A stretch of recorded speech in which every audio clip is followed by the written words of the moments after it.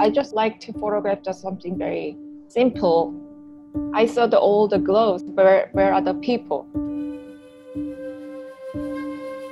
You can see them everywhere when you walk on the street. Especially I saw more. It's like a hospital and funeral places where they shouldn't be.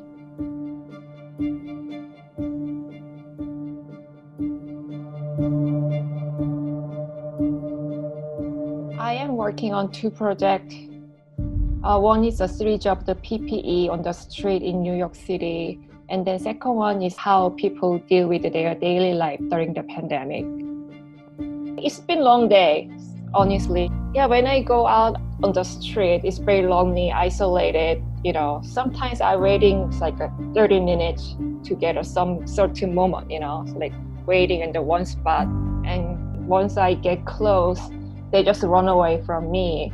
I don't know just the way I look as an Asian or not, but the only way I can get a shot is just for the using the zoom lens. Other if I get closer, they just run away or shut the door. How should I express the people scare or like uh, how people be careful? That's the only thing. It's a visible thing. It's like a glove and mask.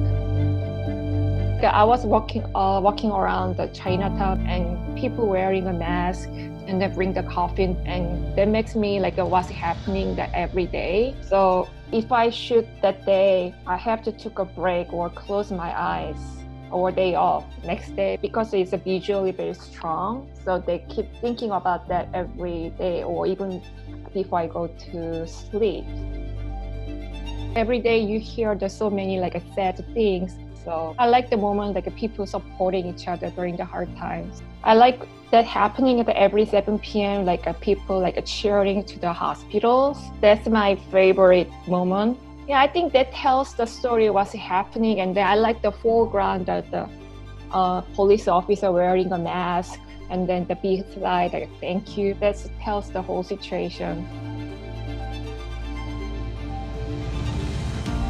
I photographed the two guys, they playing chess on the Madison Square Park. That was one of my favorite.